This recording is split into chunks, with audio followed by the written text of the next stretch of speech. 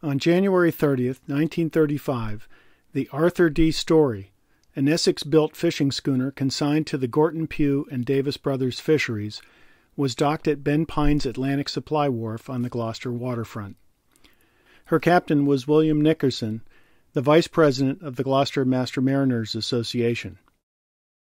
Named for Essex's most renowned shipbuilder, the Arthur D. Story was one of the fleet of schooners supervised by Ben Pine, who had used this particular boat to compete in the schooner races of 1929.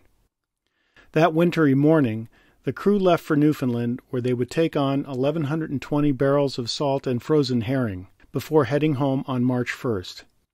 It turned out to be their last voyage, as the boat vanished without a trace after being engulfed in a horrific storm. My friend and business partner, Joseph M. Cody, worked for Ben Pine as a clerk in his outfitting store, and Cody was to go on this vessel. At the last minute, or within a few days of the departure, Miss Adams announced to Joe Cody, You're not going on the story because we need you back in the shop. Uh, ben Pine is sick. I need you to work here. So Cody, disappointed as he was, reluctantly accepted the, the, the command from Miss Adams, who uh, was the boss, uh, to stay ashore. And of course, well, the Arthur D. Story all hands were lost on that vessel. 1935 would turn out to be one of the 20th century's worst years for hurricanes, a fact that would later overshadow the importance of the intense storm the Arthur D. Story encountered in icy waters on March 3rd. She had such a load, they even put her in down in the forecastle, which is the forward part of the cruise quarters. They even carried cargo in the forecastle. So when she went out she was down by the head, uh, encountered heavy weather, and she kept right on going just like a submarine. Days after Captain Nickerson's boat vanished, the halibut schooner American, captained by Simon Theriot, limped into Gloucester after having survived 44 hours in the grips of the same storm. Simon called it the worst he had ever seen. After seeing the extensive damage to the American, the Arthur D. Story and its crew were given up for lost.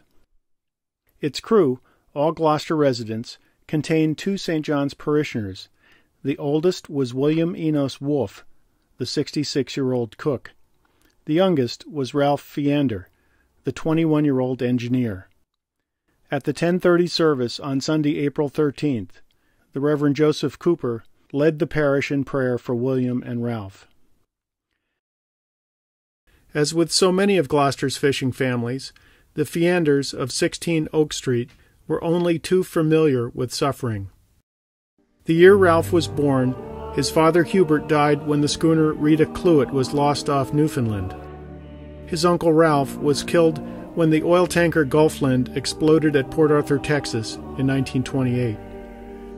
And his stepfather, Thomas Best, would later die when the trawler Inca sunk after colliding with a freighter. In a pew with his mother and stepfather that day was Ralph's teenage brother Hubert Jr., a member of the St. John's Choir. In a few years, Hubert would become an outstanding and popular student at Gloucester High School, a commanding officer of his ROTC detachment, and vice president of his senior class in 1938. He would go on to graduate at the head of his class at West Point enlist in the Signal Corps before volunteering for the paratroops. He would become a courageous leader, effectively commanding his men on battlefields in Italy and France, where in 1944 Hubert Jr. would pay the ultimate sacrifice. He is buried in Arlington National Cemetery.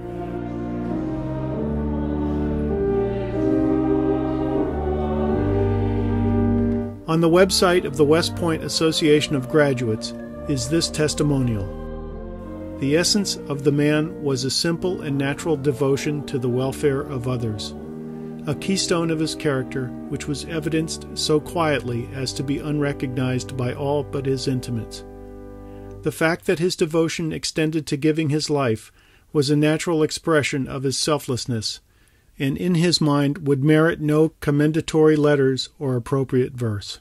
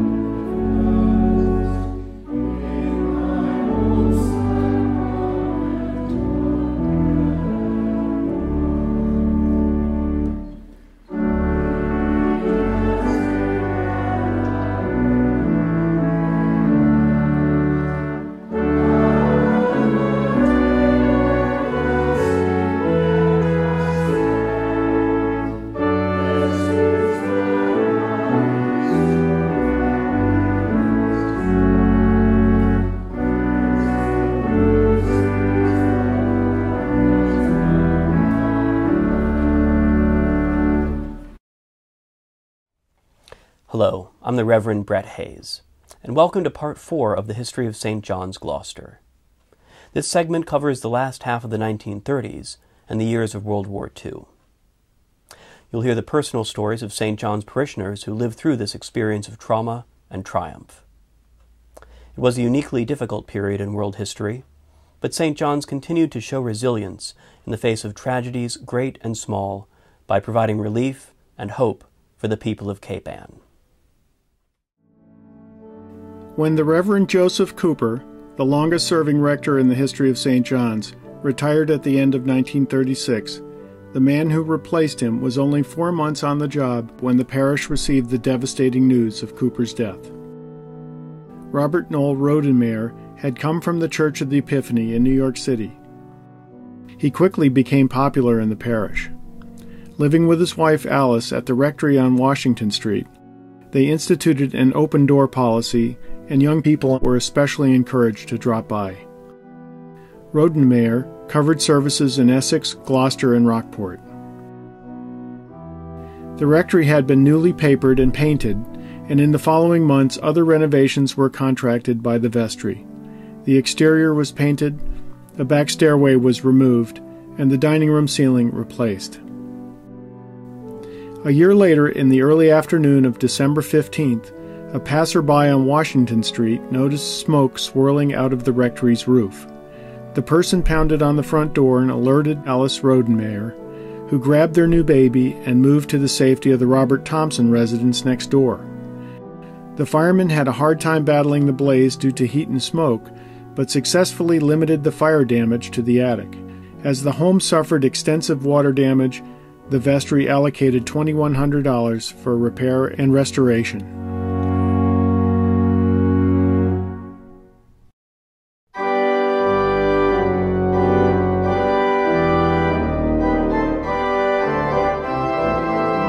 The major event at St. John's in 1938 was the 75th anniversary celebration held in May. Father Rodenmayer supplemented the usual 7:30 and 11 o'clock services with a special anniversary service held in the evening.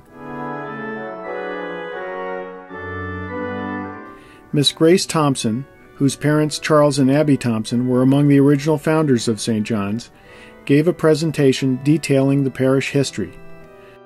Former rector Albert Watkins, who had served in 1890, came by train from Kansas City to attend.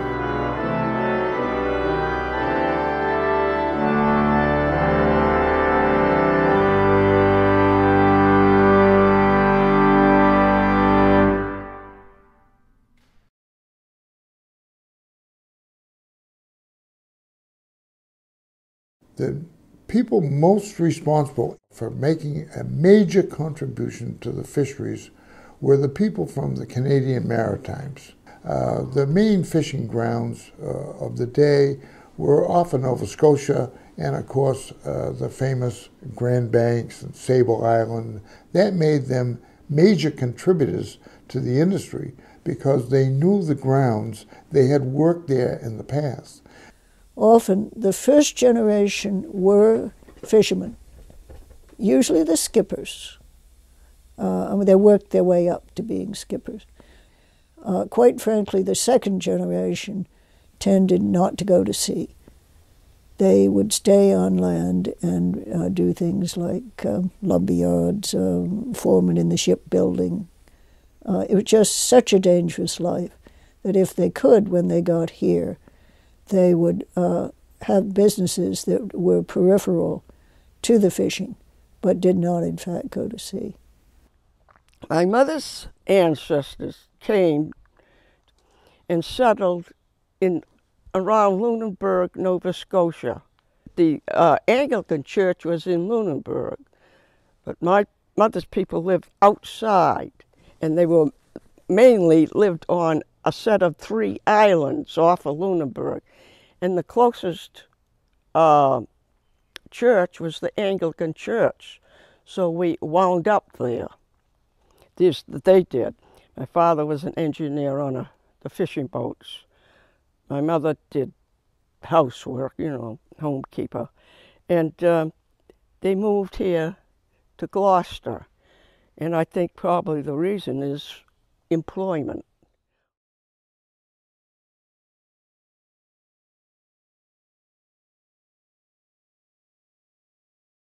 Cecil Moulton was a, a, mutual friend of Ben Pines. He was also a Newfoundlander, and he was a contemporary of Ben Pines. Unlike Piney, Cecil was an expert fisherman, and of course was one of the outstanding captains of the era. He was a captain on the fishing boats. Of course, they did that. They were in a position to do better than the average person back then. They worked very hard for the church. My mother wasn't uh, so involved. She baked for the church, like during the fairs and that. But uh, my mother was busy at home trying to survive.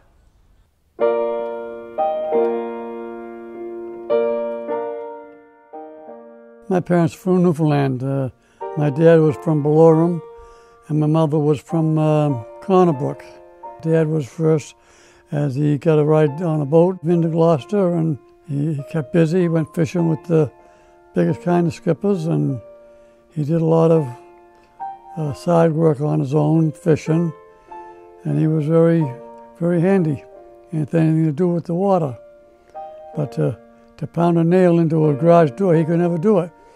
But anything to do with uh, the water, he's he's right there. He was skipper of the Gertrude L. Thebaud during the uh, races. In 1932, they won the race. So my mother came over and uh, they lived up on Friend Street.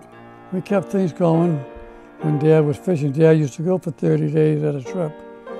And sometimes to get home is 14 days. You never knew, you couldn't plan a heck of a lot because you didn't know when he was going to come in. Come in when the boat got full is when he came in, but Sometimes it was short trips and sometimes it was long trips. Mrs. Moulton was uh, quite active in the Women's Auxiliary. They had uh, the Newfoundland Society because a lot of St. John's people were Newfoundlanders. And we had wonderful times.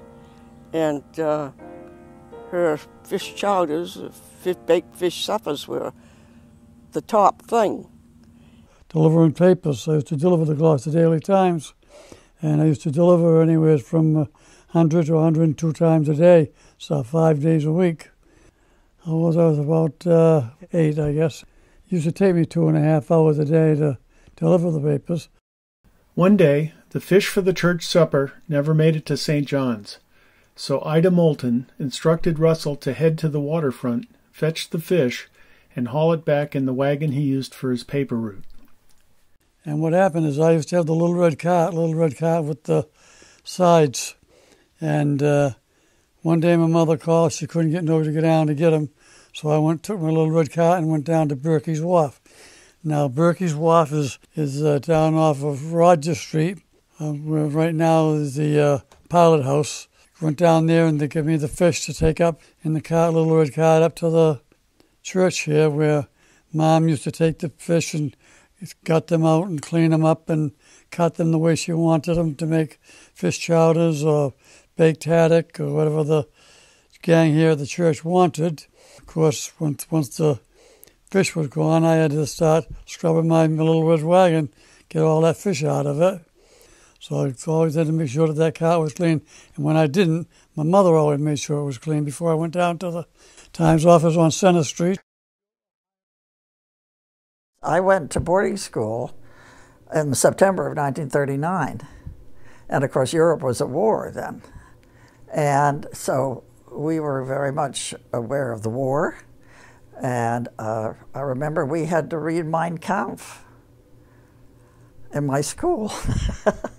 the librarian was very insistent that we read that book, and we did.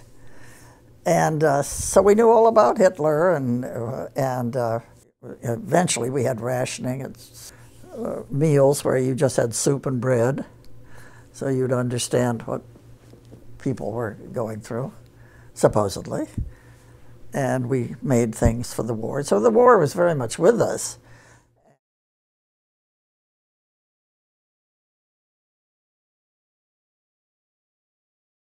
uh, I joined the Nevada and Bremerton Navy Yard, and uh, they assigned me a couple of guns to super, supervise. But I got bored. And one day I was talking to the uh, engineering officer. He hadn't gotten enough commissioned officers in the engineering department, so he needed another guy. This was a modern battleship, 1914 style, and this was an oil fired boiler. And they knew an ensign didn't know anything, so they were very patient with me and t- taught me all the tricks of the trade, which was very lucky for me. So we got out to Hawaii. Heaven! Beautiful weather. And Hawaiian girls are gorgeous. So we had a great summer. By this time, I had everything under control. And then one day, on a Sunday, we were at assembly, make sure everybody on, was on board who was supposed to be on board. As we stood watching the flag being raised and the bands playing the national anthem, and they started playing faster and faster and faster. And I couldn't figure out what it was all about. But what we didn't see was the airplanes and the bullets flying. And uh, suddenly they called all hands to general quarters. That's, that's battle stations. And then when the word came over, we are being attacked by aircraft of the Imperial Japanese Navy. Get underway.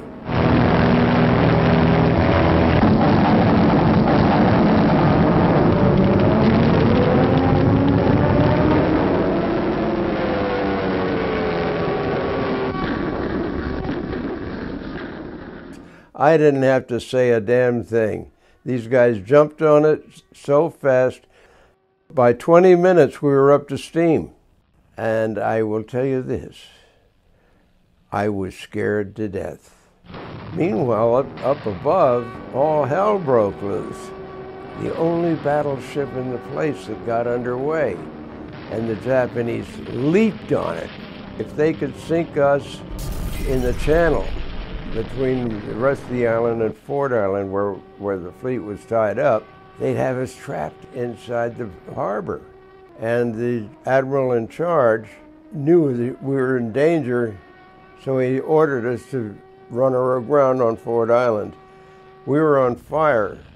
Everything that hit the Arizona, which was berthed ahead of us, would have hit us.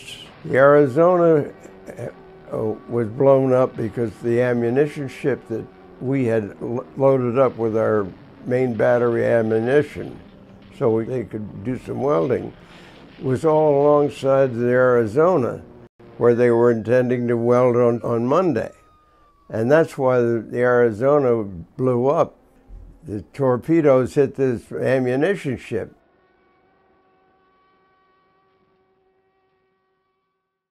We stayed fighting fires.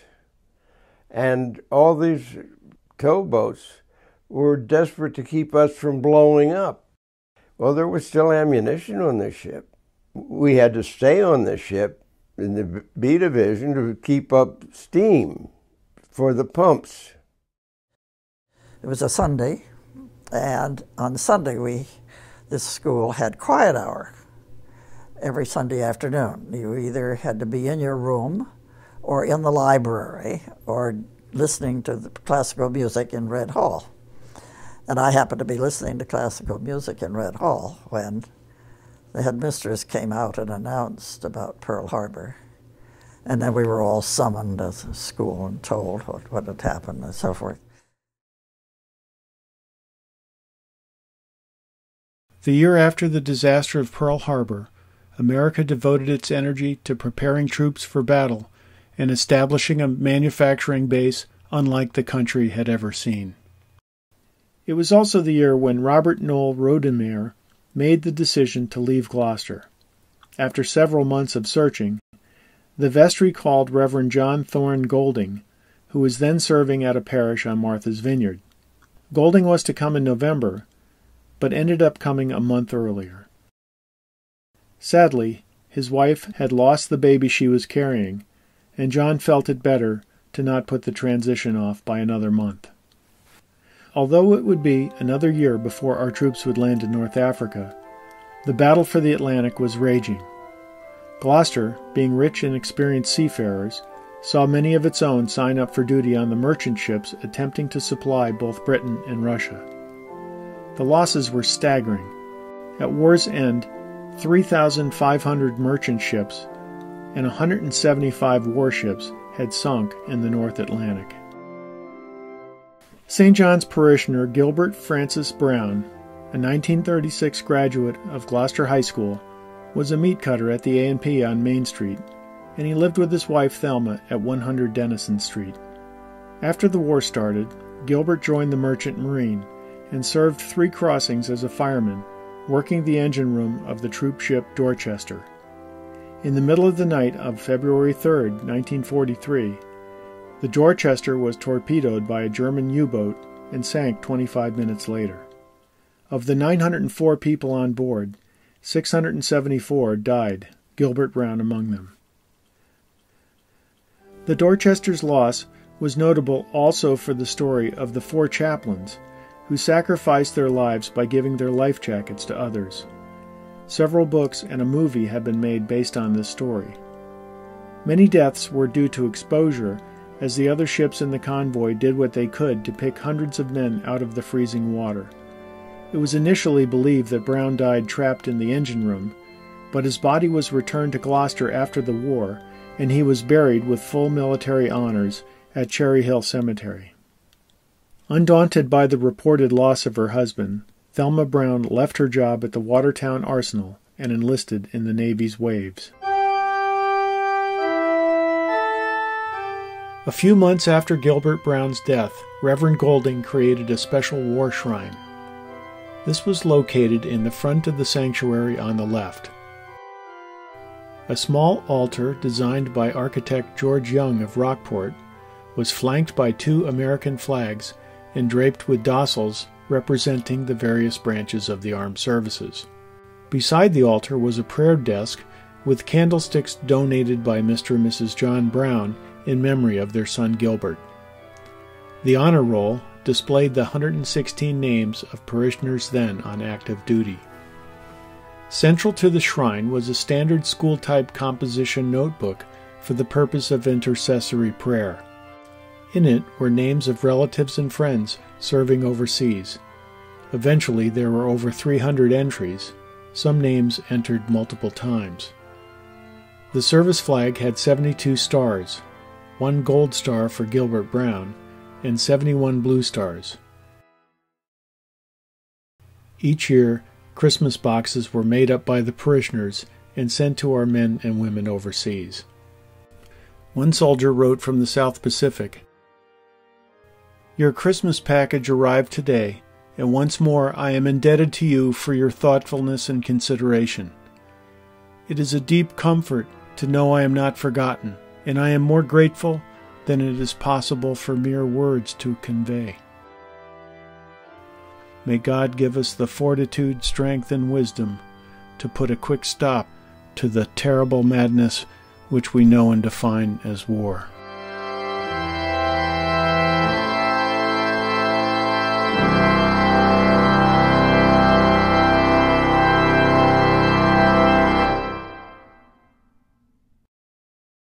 Adele Irvin's brother was killed in January of 1943. He was uh, he was a uh, dive bomber pilot, off first off the Yorktown, then off the Enterprise. He was lost off the Enterprise, and uh, he won the Silver Star. He was it was a fine, fine young man. The class of 1940 at Harvard, um, and uh, yeah, he was a great loss. Henry Nicholas Irvin, known as Skip. With the war on, Adele Irvin's family moved to Canada so her father could work as the assistant air attache for the Canadian Air Corps. I, meanwhile, had graduated from school. I wasn't college material anyway, and I knew that. But I would have gone into the service if I had.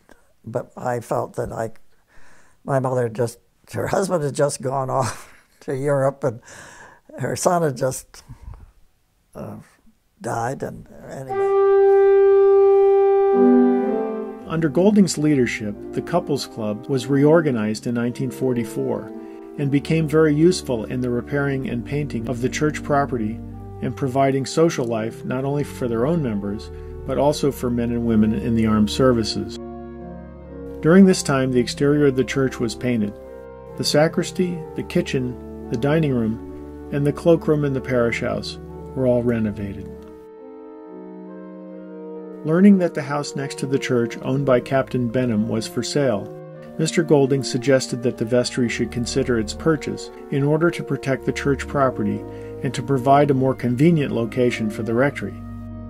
After the vestry had decided on the purchase, Mrs. Philip M. Rhinelander, the widow of Bishop Rhinelander, generously provided the funds needed, and the old rectory was sold. On March 16, 1945, Father Golding presented his resignation, having applied for a chaplaincy in the Navy. His friends in both parishes saw him go with deep regret.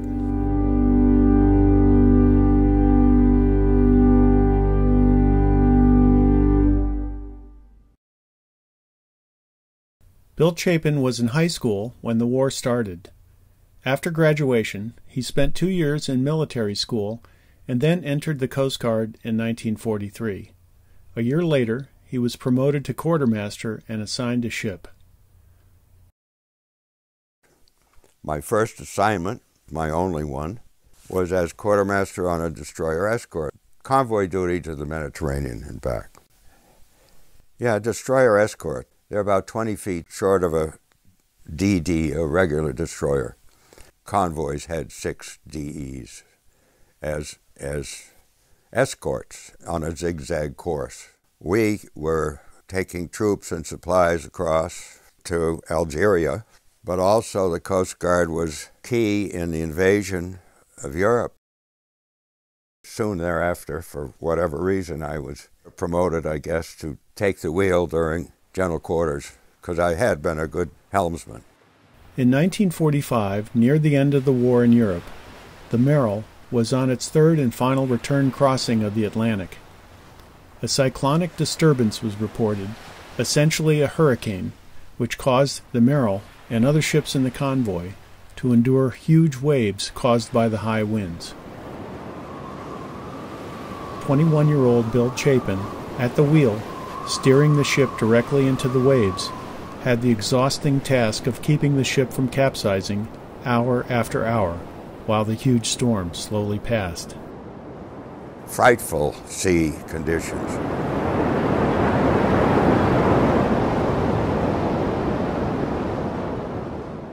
The bullnose is a ring on the bow where the hawser goes through, and that bullnose would be buried underwater. Well, it would be in a trough, and then we'd rise, thankfully, high enough to be able to get over the crest of the of the next sea. Everything below the the deck itself was totally awash. It was like we it wasn't visible. The wheelhouse where I was, water was sloshing around on the deck, and that was 40 feet above the waterline. The captain of the ship, who may have achieved his rank through political connections, was terrified and provided no help. He came out from the sea cabin to the wheelhouse and stood by me one, at one moment of this frightening experience and said, Chapin, watch it, we're going to broach. Well, broaching means going sideways to the sea. That would have been it. Well, we weren't going to broach. I wasn't going to allow it if there was any chance. But he just lost his confidence and retreated. Eventually, it did calm down, of course, and all of the flotilla were able to regroup and continue on our zigzag course back to New York. Now, uh, there was a strong element of faith involved in my going about the job. On the one hand, everything was happening so fast I couldn't really think about much of anything other than looking to get over the next sea. But I never did feel that there was any question other than that we were going to make it. It was a, it was a, a moment of truth in many ways. In April, the war with Germany ended. Bill Chapin and the others aboard the Merrill were ordered to sail to the Pacific to help fight the Japanese. Luckily for Bill, the war ended by the time he made it to Honolulu, where he and his shore leave buddies really had something to celebrate.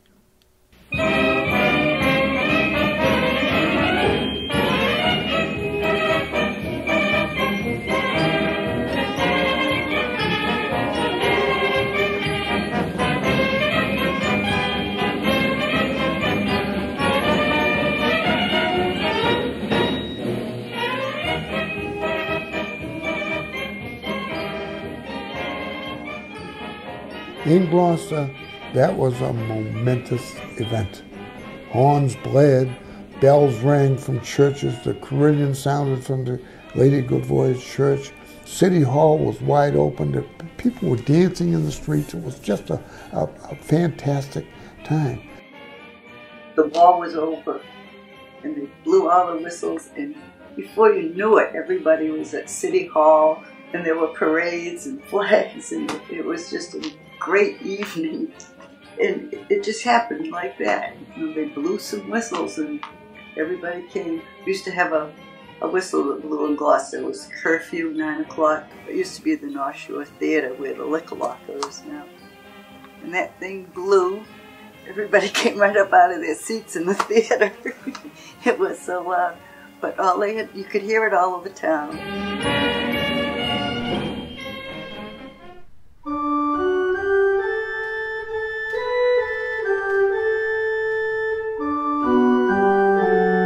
Few weeks after VJ Day in 1945, the Reverend Norman Kellett of Lewiston, Maine, became the next rector of St. John's.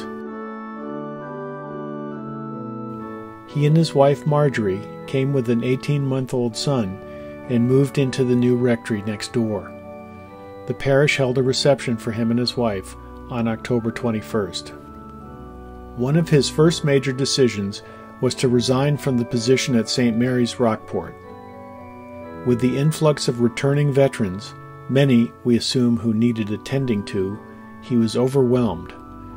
Bishop Sherrill appointed the Reverend William Stride as rector of St. Mary's, which continues to be an independent parish to this day.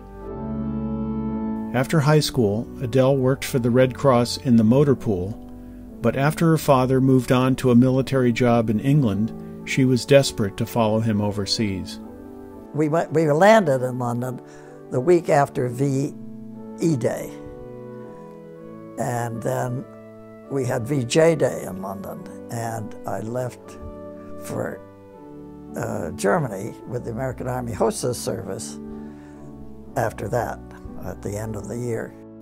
Once in Germany, Adele ran a club for 2,000 Allied airmen at a supply depot in Erding, Germany. She was 20 years old we had a mixed bag of uh, people, and so it was a it was a challenge to run a program for them. And uh, well, you never know more than when you're 20, really, because you don't know what you don't know. and uh, the bar across the street, which financed my club, was a great, obviously a great draw because you got drinks for 10 cents a shot. And I had to deal with uh, that problem. And uh, and then we, I found the blacks one day. I saw them coming in. The, we had a bakery as part of our club. We did our own food there, and we had this bakery. And I kept seeing these blacks coming in the bakery entrance. And I asked my sergeant. Were, I had a wonderful sergeant who really ran the place. And I said, well, why are all these black soldiers coming in that way? Well, they they're not they don't think they're supposed to come in any other way. Now, I had just learned very that the Black Regiment was not housed on the base.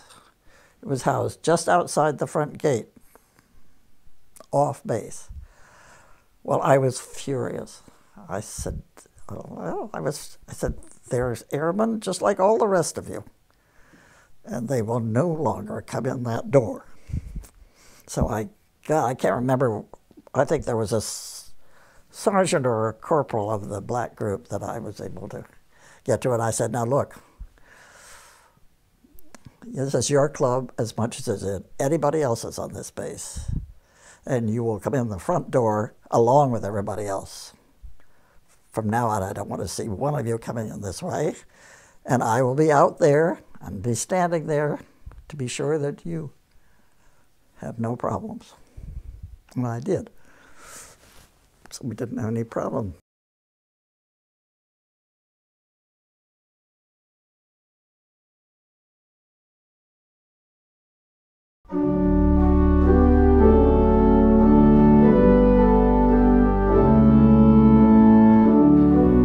The following year, a room in the basement of the parish house was made available for Sunday school classes and as a robing room for the acolytes and choir.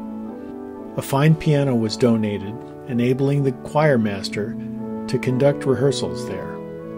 Other improvements included the iron fence enclosing the yard on Middle Street.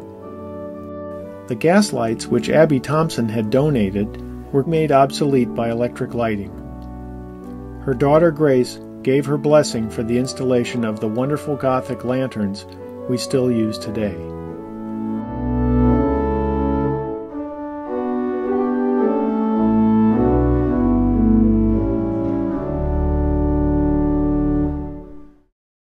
Irving Johnson and his wife Electa, world navigators, came to Gloucester after the war with their barkentine sailboat Yankee.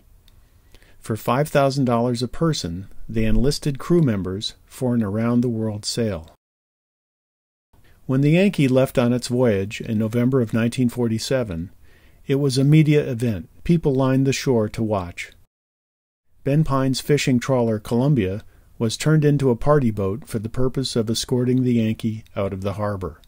Fourteen year old Ron Gilson was on board assisting the captain, and the Reverend Norman Kellett was asked to go along for the ride. Bert Hemian, uh, the captain, was a Catholic, and he invited his parish priest to uh, to come along for the ride, enjoy the festivities. It was a beautiful fall afternoon. Piney, being an Episcopalian, he invited his pastor. They cruised out the harbor, and everybody was waving, and the chowder was coming up on deck, and the sandwiches, and everybody was having a few drinks, and the parish priest from St. Anne's and the rector from St. John's were back aft in the engineer's cabin. And Bobby Martin said to him, You know, we just came back from St. Pierre Miquelon, and they make a famous rum up there, 120 proof. And he says, I happen to have uh, my own personal bottle. Uh, in honor of this occasion, I want you all to enjoy some of this rum. They toasted this and they toasted that. And by the time we got to the head of the wharf, uh, it was low tide. And all the participants had to climb this ladder for probably 10, 12 feet. And uh, they all did. And some of them were uh, just a tad on the other side of the weather, but they, with, with assistance, they all got ashore and, uh, and uh, the vessel emptied out. And uh, just about that time, uh, Bobby Martin came up and, uh, and told his uncle, the skipper, he says, we have a problem back aft, Cap.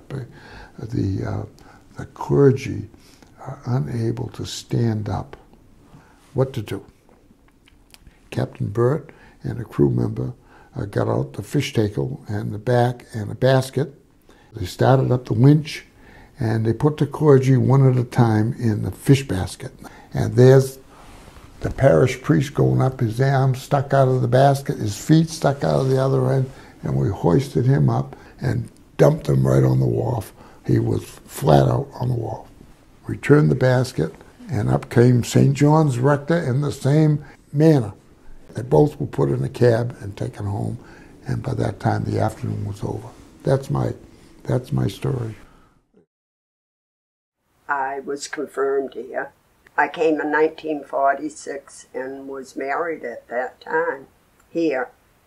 And I never realized it that my mother and father were married here. So when I went back and looked at the old books, uh, I found the marriage date of my mother and father. I was just thrilled about it, even to this day. Just like the working women today, I work. I was an administrator assistant for the telephone company. And I was out of town most of my life working, but I was always here on Sunday. Very involved even before I retired. And I remember one thing sticks out in my mind about being involved, and I don't know why it does. But a group of us used to put on suppers mostly every Saturday night, baked beans, chowder, and all that. I was still working on, in Boston, but we had a supper for the Unitarian Church to give them all our profits so that they could rebuild the steeple and uh, that that was wonderful, you know, to have something like that with another church and do something for somebody else instead of raising it for St. John's. So that's my first recollection, and a good one, a good one, yeah. I was born in 1940. I'm the youngest child of the oldest son of Bishop Rhinelander, uh, and we attended St. John's. I remember distinctly. My grandfather had died in 1939, and my grandmother, uh, who was a large lady, tall as, as well as otherwise, um, never wore anything but black, white, or purple. We always think she wanted to be a cardinal or something, but anyway, purple. And I was a pretty little girl with blonde hair, and she would make quite a to do coming in pretending more or less to be leaning on my arm. Uh, and we would all march in in a group and take our place on the left hand side, uh, one pew in from the front, uh, every Sunday.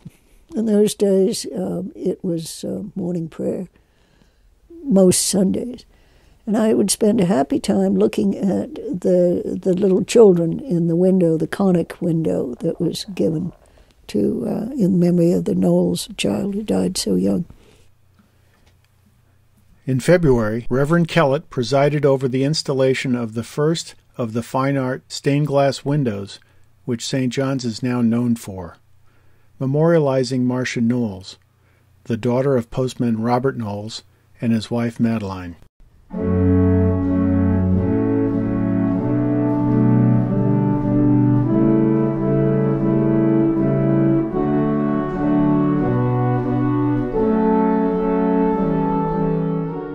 Marcia was three and a half years old when she was struck by a car and killed one Saturday morning in 1943.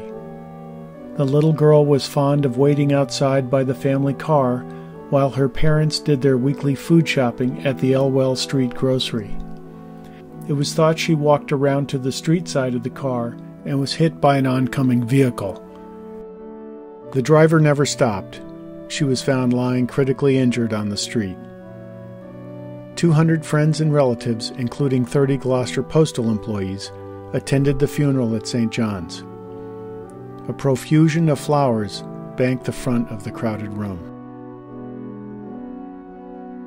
In the following year, Mr. and Mrs. Knowles decided a stained glass window would be a proper memorial for their daughter. It is the earliest of the memorial windows, and the single window to be designed and manufactured by Charles Connick of Boston. Its subject matter is Christ blessing the children, a theme from the 10th chapter of Mark's Gospel. Throughout the window are several fleur de lis signifying purity. The vine, symbolizing the growth of life, is intertwined among the flowers.